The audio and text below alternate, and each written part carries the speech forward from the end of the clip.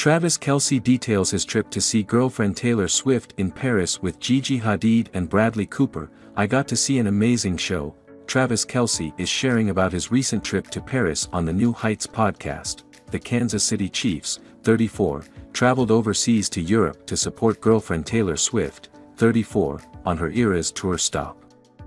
Speaking on the latest episode of the New Heights podcast with Jason, which will air on Wednesday morning, Travis shared details of his trip.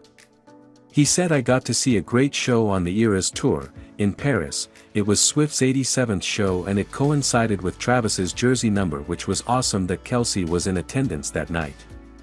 Swift's 87th performance. Kelce also said that he found it exciting to experience songs about him live with a crowd, the NFL star is excited to tour with Taylor and is happy to support her.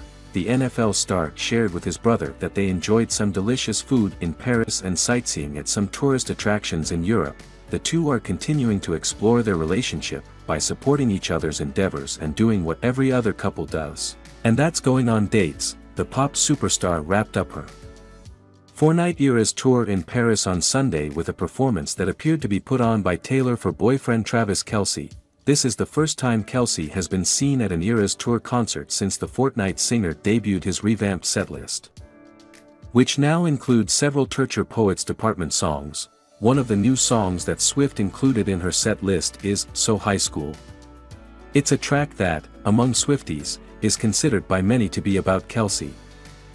During her surprise set of songs, Swift played The Alchemy, another Torture Poets song that Swifties suspect might also be about Kelce. The lyrics are filled with football references, with buzzwords like touchdown, warm the bench, and greatest in the league.